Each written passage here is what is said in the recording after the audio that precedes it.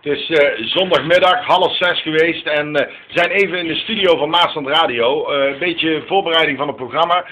naar de computer aan het kijken wat er morgen vroeg allemaal voorbij komt. En we zijn ook alvast op zoek naar een nieuwe schijf van een lekker wijf. En ik zag dus dat Anouk een nieuwe single heeft uitgebracht.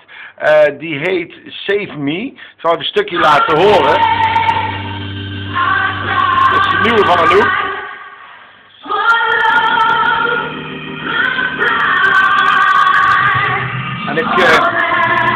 Kan nu al zeggen, dit wordt de nieuwe schijf van een lekker wijf deze week. Dus hou hem in de gaten. Anouk en Save Me.